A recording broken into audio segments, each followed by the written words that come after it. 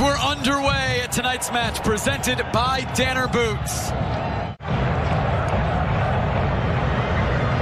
Jimmy Chara now leaving for Bravo. Great ball. Blanco might be through. Yarbrough off his line to make the save.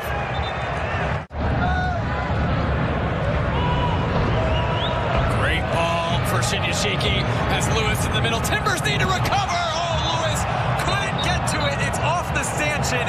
It's a goal kick. Timbers unable to pounce.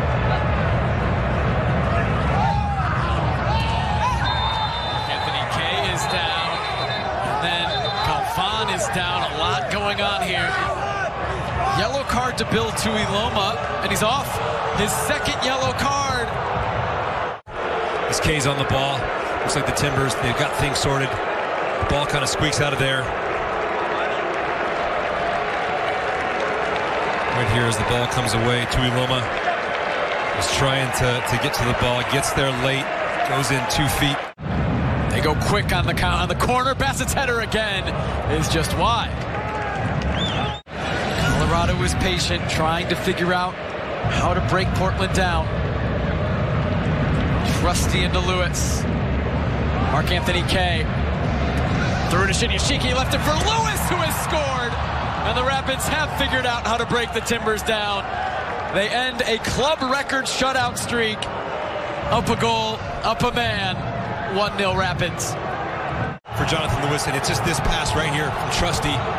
Lewis, he corrals it, gets it out to Kaye, plays it wide, and it's just a one-time pass there.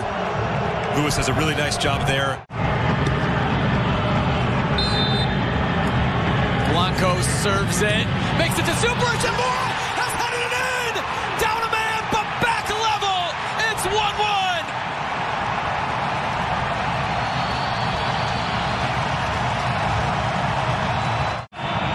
course, it falls directly to Felipe Mora, and this man is not going to miss from this distance from goal.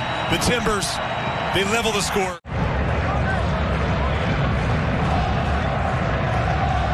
Barrios. Getting around Bravo, getting the cross away. Oh, and it is in! Michael Barrios, from as narrow of an angle as you could possibly have, has put the Rapids back on top. I don't think he meant it. For the Timbers, who have defended so well in this half, Barrios, he beats Claudio Bravo down the line. He's able just to get an outside of the foot cross as he's fallen out of bounds. And Clark, he's unable to read that one. It's really unlucky for him. See it again here. The outside of the boot, it's always going to be curling towards that far post. See here from the Subaru goal cam.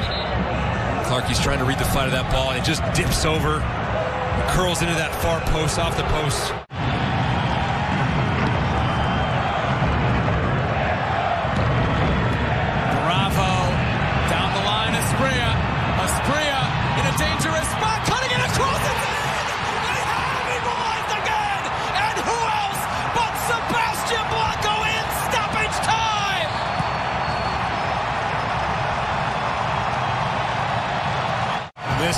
Team, it's never say die for them. On this night, Asprilla, he gets the matchup he wants against Rosenberry. He cuts it across the goal. Across, strong, and it is over. Some draws feel like a loss, some feel like a win. This certainly feels like a win tonight for the Timbers.